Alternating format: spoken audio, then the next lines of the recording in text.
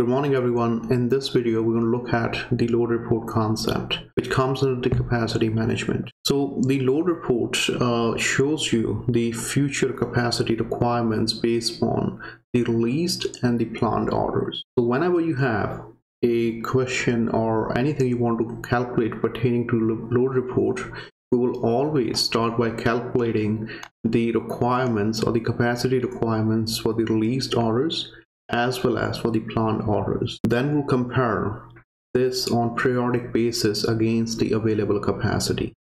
And by comparing the required capacity based on released and the planned orders with the available capacity, we can say if your work center is underloaded or the overloaded, right?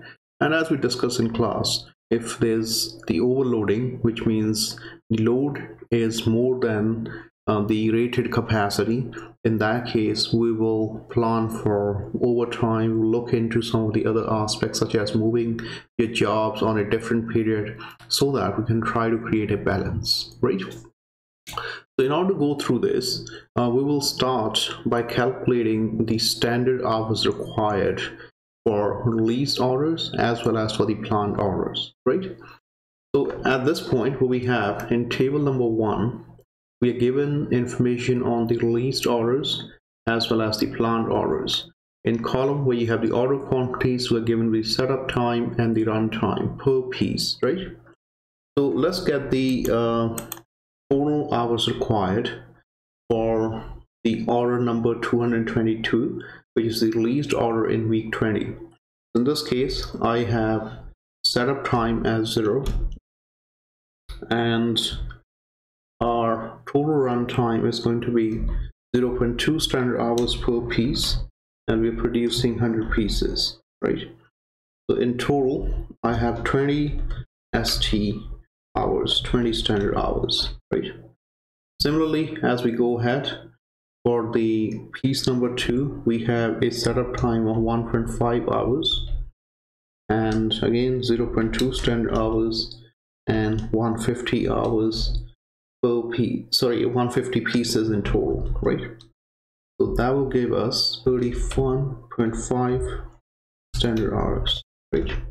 As we apply this further with the planned orders so where the planned order number 444 has a setup time of three hours. So three hours setup time plus 0.25 into uh, we're going to produce 200 pieces. So i got it as 53 standard hours right and as we go further we have as we solve this particular one we have 2.5 plus 0.15 into 300 pieces right?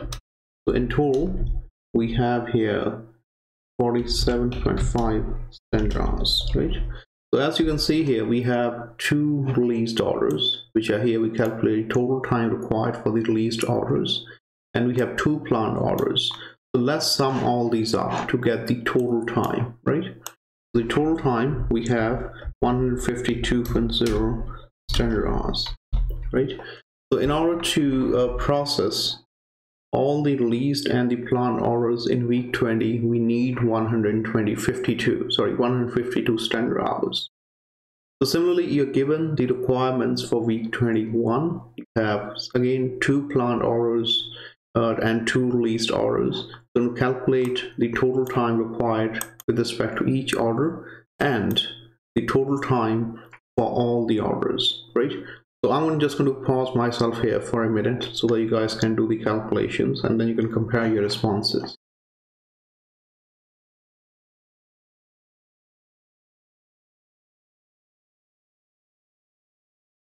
If you have given it a go, if you have done the calculation, you should get 21.4 standard hours for order number 222, 23.6 for order number 777. Then we have planned order, which is 444, 101 standard hours.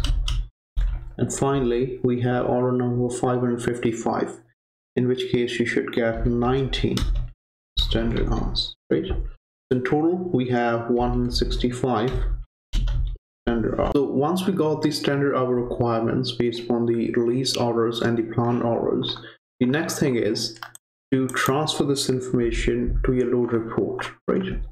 So your load report, which is provided to you in the worksheet is partially filled. So you're given with the rated capacity, which is the rated capacity for the next five weeks, starting from week 20 to week 24. We rated capacity 140 standard hours is available throughout the next four, five weeks.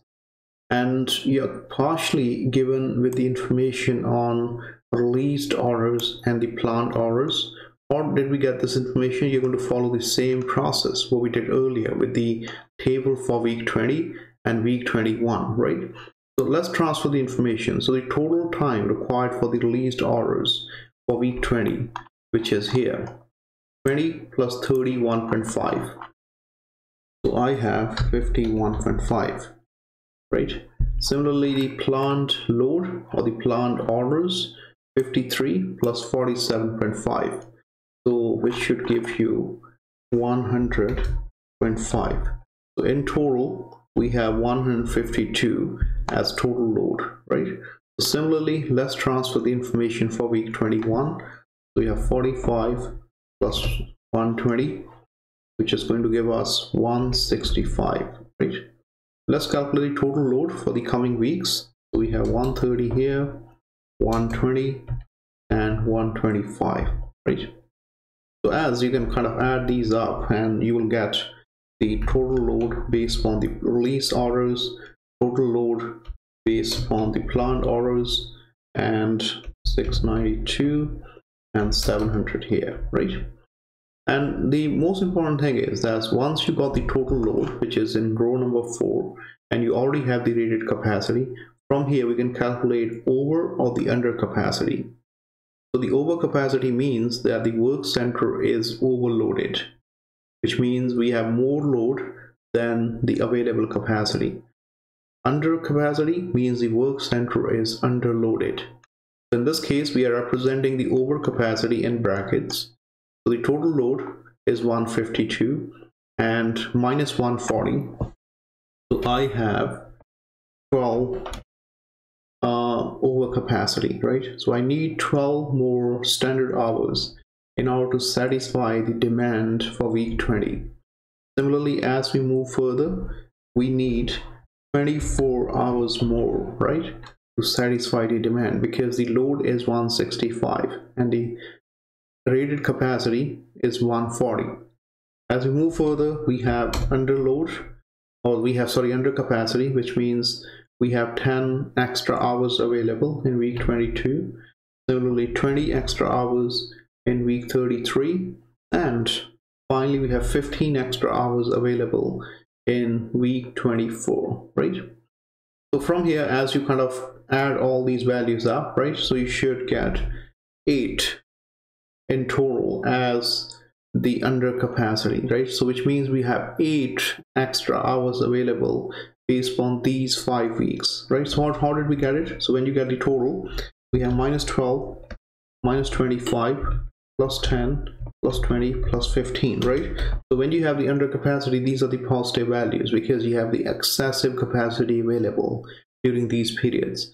When it is over capacity these values are negative. So as you kind of solve this you should get the value as 8 right? So you have 8 extra hours based on the these five weeks right? But when we look into the individual weeks or the individual periods so the first two weeks we have the over uh, over capacity so which means the work centers are overloaded and here we have the under capacity right? So work centers are underloaded. And from here you can look into different things. For example can i shift some of the productions to week 22 week 23 so that we can satisfy the requirements here? Or in certain cases, you may already have safety stock or the inventories which are built up to, to satisfy the requirements for the weeks when we have uh, low capacity, right? We don't have enough capacity. So those are some of the things that you look into in order to satisfy the overall requirements.